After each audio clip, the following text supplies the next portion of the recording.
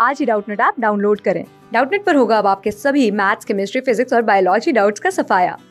बस अपने क्वेश्चन की फ़ोटो खींचो, उसे क्रॉप करो और तुरंत वीडियो सोल्यूशन पाओ। Download now. देखिए क्वेश्चन दिया गया, a type of reproduction in which a part of a plant body develops into a new individual is called.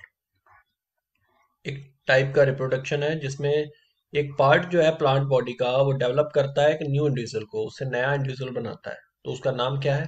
देखिए, इसका नाम है वेजिटेटिव रिप्रोडक्शन इसको बोलते हैं वेजिटेटिव रिप्रोडक्शन ठीक है?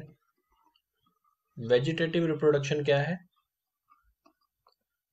वेजिटेटिव रिप्रोडक्शन एक टाइप का रिप्रोडक्शन है, जिसमें एक पार्ट प्लांट का डेवलप करता है टू न्यू इंडिविजुअल ठीक है?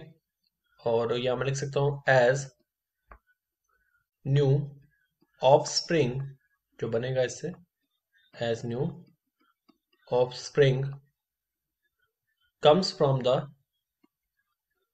या तक इससे comes from the vegetative part comes from the vegetative vegetative part of the plant, vegetative part of the plant. Plant का जो वेजिटेटिव पार्ट है हैंस द हैंस इसका नाम क्या है?